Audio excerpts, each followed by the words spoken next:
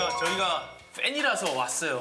만나뵙고 싶어가지고. 우리도 연예인인데 더 연예인 보는 것 같아. 그러니까 진짜 목소리에 정말 다 가- 개성 있고 내가 다 빠졌어 정말. 잠시만 잠시만 짚고 넘어갈게.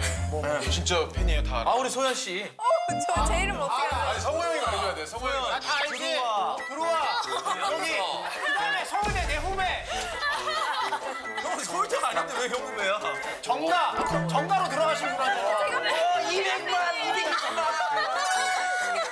조회수가 조회수 폭발이에요. 너튜브 조회수가 많아. 어, 아니 그 라이브로 한 번 불러줘요.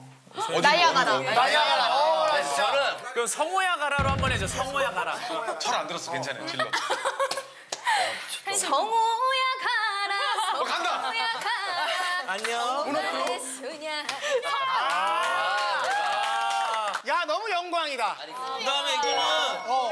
이제 우리 재롱이 우리 재롱이 형저 40대니까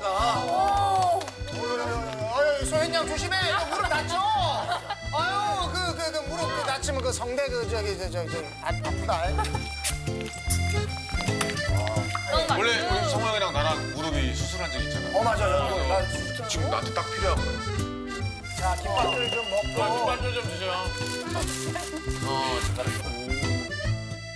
어, 내, 제 노래를 한번 살짝 들려드릴까요? 트로트와 요들송을 접목시킨 요들뽕의 창 시작. 오로롤레 오로레리 오리레리 오리오로레리 이야라라 우두 이야라라 우리 이야라라 우리 오로롤레 오리레리 오리레리 오리오로레리 뚜루띠에 요로 요로. 입이. 헐렁거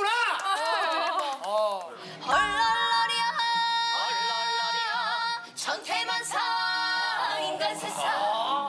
사는 법도 가지가지. 변호한다 변호사.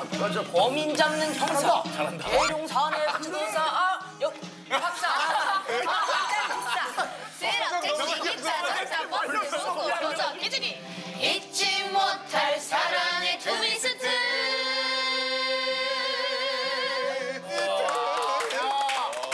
옛날에 우리 개콘에서 봉숭아 학당 같은 느낌이야. 트로트로 만든 봉숭아. 그렇지, 그렇지. 야, 그러네. 뮤지컬. 뮤지컬. 어.